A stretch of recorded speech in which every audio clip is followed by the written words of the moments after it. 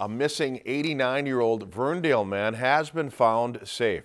Last night we told you that Richard Griffith Giles was last seen at the Super 8 in Grand Rapids after spending the night after he got lost.